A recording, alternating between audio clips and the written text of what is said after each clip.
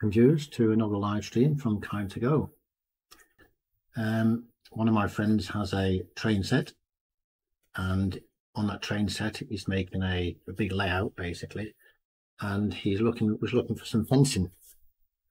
Now I have made some fencing for him with my 3D printer. And I'd just like to show you how that's physically done. I had a sample of one of these which he gave me and what I did, I started up a program called Fusion 360, and I'm going to show you that right now. Um, this program here is called Fusion 360. It's a CAD program, and I drew the uh, I drew the fences up by making the fence posts first, and then I added the slats going, the fence panels going across like that.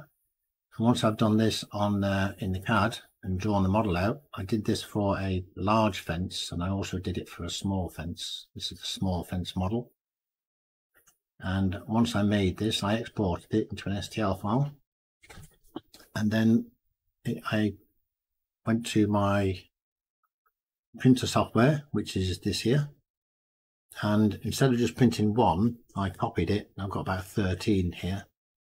And then I sliced it with a slicer and that what that does it, it converts the file into a sliced um, model so the printer can recognize it. And then when you've got that sliced model you then go to the printer which we have one running at the moment. This is the printer that's running right now and we're printing these um, we're printing these. At the moment we're printing the the big ones the big ones which are these.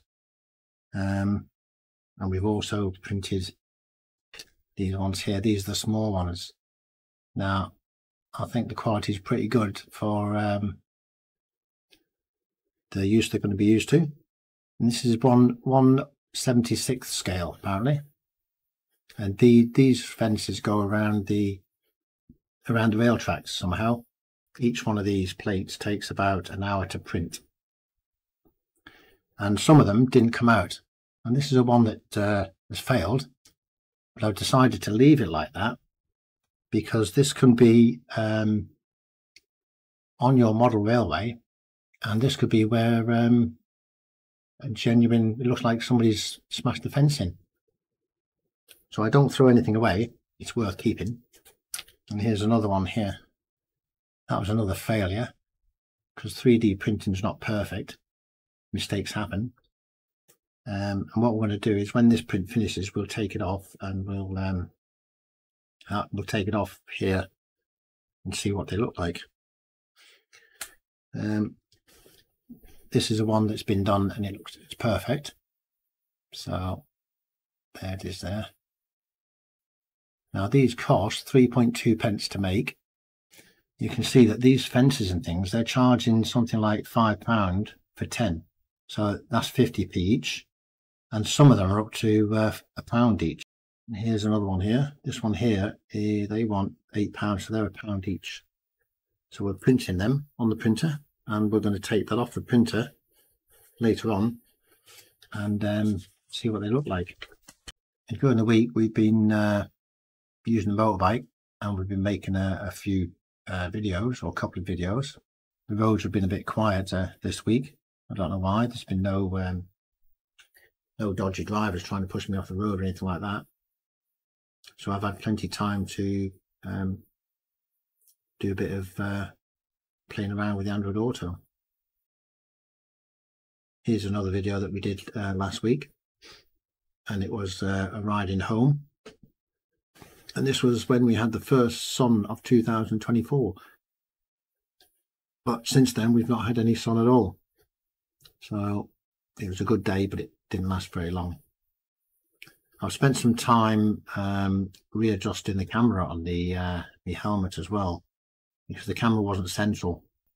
So the videos coming from the bike will be a lot nicer going forward.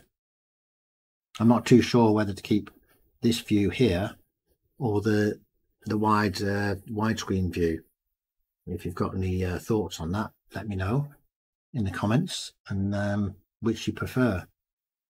I like this one because it gives you more uh, info, more of a picture, see more of the bike, but you get the black um, bars on the side, which is not so good. So we'll have to see how that goes on. A couple of minutes, six minutes it says. We're going to take these off here and show you how we take these parts off the build plate. I've done about 60 of these things. They're very, very handy printers. I'm going to use this printer to print some parts for my motorbike.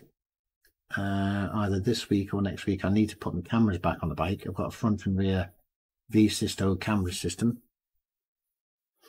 And um, all the parts are out already. I might have to laser cut a new uh, lens for the front of my cover for it because I made a 3D printed cover to fit the Vsysto camera. And uh, if you've got one of these, uh, keep an eye out uh, for the video because I'll show you how to protect the lens. Because what you don't want to do is be riding along, getting that uh, lens dirty and then wiping it off with a cloth or something, it'll get scratched. So I've made a, um, a sort of enclosure for it where the camera's inside and it doesn't uh, get damaged at all. It was on the NT, the NC750X for about uh, four years and it was perfect. So I'm going to put that on the NT very, very shortly. And I'll then have some footage of the rear of the motorbike and also the front of the motorbike while I'm riding along. So our printer looks like it's finished. This is what you get off the printer when it's physically printed. These are all the fences. I've got 13, I think, on there. Yeah, there's 13 fences on there in one print. That takes an hour and a half to print them. So now we're trying to how we take them off. There's two ways we can do it. The first way is to flex the uh, the board like that. As you can see, they're coming off anyway. Flex it both ways, and that makes them loose. Then you should be able to just peel them off like that. There's two ways to take the print off. One is by pulling them off, and the other one is by putting a flashlight underneath there and slide it off like that. Once you've got them all off, you can then use them. I only have another 20 to go. And there is the, the build plate now, it's empty. I'm going to close the uh, the stream there. I'm going to go and set up another print for another 13 of these. Have a nice weekend. Bye for now.